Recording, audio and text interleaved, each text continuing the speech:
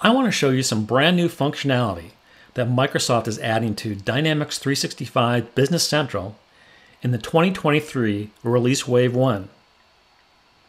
What they've added is artificial intelligence to generate a product description or marketing description for items. So this is kind of neat. It allows you to add an item from a picture. You can assign to that attributes from Business Central, and then you can generate a marketing description that can be used on your website or on your e-commerce platform. So let's see how easy it is to use. I'm going to add a new item from a picture. I'm going to generate the marketing description. I'm going to show you how you can edit that. And then I'll show you how you can enable this feature in Dynamics 365 Business Central. This is my item list right here, and I've got a category of faucets. Let's open that up. I want to add a new faucet and I'm going to do it based on a picture. So what I do is go up to New, and then create from a picture. I'm going to browse out to find the picture. This is the one I want right here. I'll hit OK. And when I do that, it brings up this screen. I'm going to identify a category to which this item belongs and also identify attributes of this specific item. This is in the faucets category. I'm going to select that. And then I'm going to add some attributes that further define this particular item. These are the attributes I'm going to use right here. I'm going to identify one at a time and finish this up. So these are the attributes I've identified for this item and the corresponding values of each attribute. So I'm done with this part of it. I'm going to hit OK. Adds the item to my item list. I'm going to do two things before we go and look at the artificial intelligence piece.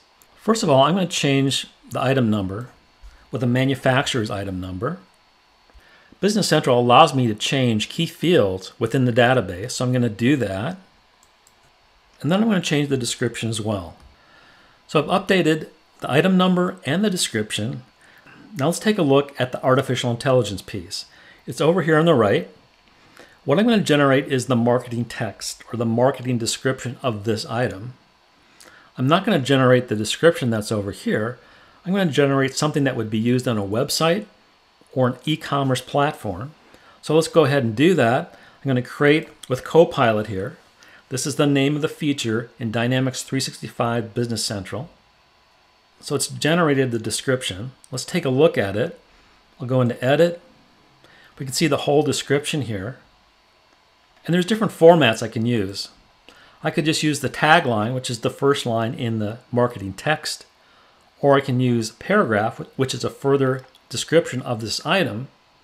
And if you read the description here, you can see that it took the information from Business Central, including the attributes, and created text that would be suitable for marketing.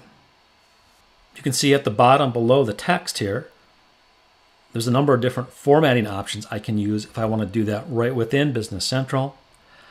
So one thing that's nice about this, if you don't like the results that the artificial intelligence generated, you can just clear it and run it again, and it will give you another version of that.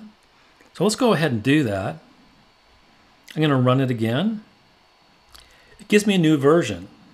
If I don't like this version, I can either run it again or I can go back to a previous version. This one's pretty lofty.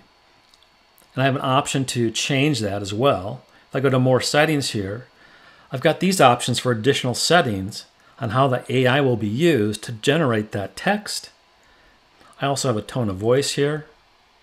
So I can do a lot right within Dynamics 365 Business Central to generate this marketing text that I can use in a number of different places. Once I'm done with this, I'll just hit OK.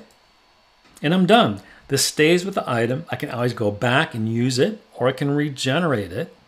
And again, it's based on the description of the item. It's based on these attributes down here. If I change attributes, it wouldn't necessarily change the output of the generated text. So there's two things I need to do in order to try this out and use it in my system. The first thing is to go to Feature Management and enable this item right here. Again, this is a preview functionality, but you can easily access it and try it out.